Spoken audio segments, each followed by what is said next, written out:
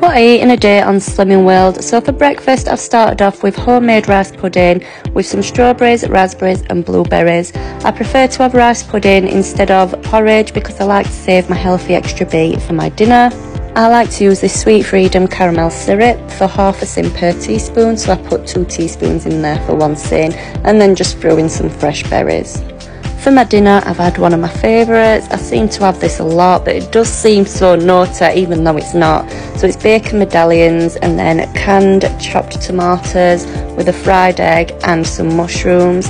And then obviously I've got a small loaf of Warburton's wholemeal bread for my healthy extra B. And then the mushrooms and tomatoes on there are speed. It seems so naughty but it's not at all. You've got your speed on there and your healthy extra B for my snack I've had an apple just cut up into wedges and one of these Alpen light bars and a cup of coffee the Alpen light bar is three sins and then the milk in my coffee is part of my healthy extra A for my tea I had some homemade sweet and sour chicken with noodles. This was really nice and it is all free on Slimming World. I will post a video on how I made this. I had extras for me to have the day after.